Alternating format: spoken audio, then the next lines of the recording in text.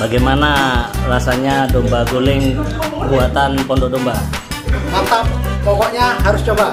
Harus datang ke Pangkusari merasakan eh, apa masakan pondok domba.